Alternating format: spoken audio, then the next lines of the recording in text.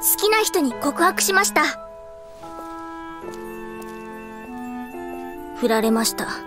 最悪。もう帰って寝よう。あれ松浦今帰り？えー、部活は？サボり？えサボタージュえサボり？えー、香取先輩私今日体調悪いんで。そうなの？悲しそうな顔してたからてっきり失恋かと思ったぞ。あ れ？図星あれ？ごめん。悪いこと聞いちゃった？いえ別に。でも勇気出したんだろ？え？それってすごいことじゃね？先輩。今のお前の顔最高に輝いてっぞ。バカにしてるんですか？してますよね。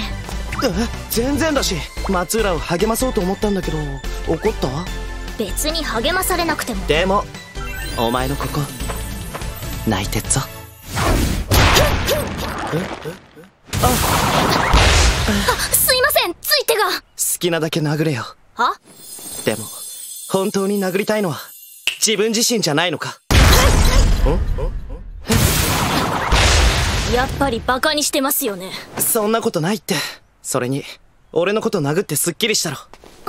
先輩はこのためにわざと。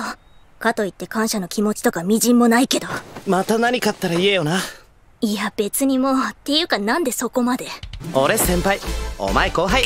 アンダースタン？よしこれで部活行けるだろ。あじゃあ先輩はうざいけど基本的にはいい人なんだよな。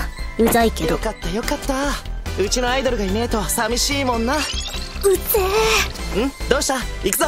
えなんでもないです。こっち見ないでください。ごめん。まさか俺に惚れちゃった？眩しくてごめんんどうした？ん？そうか。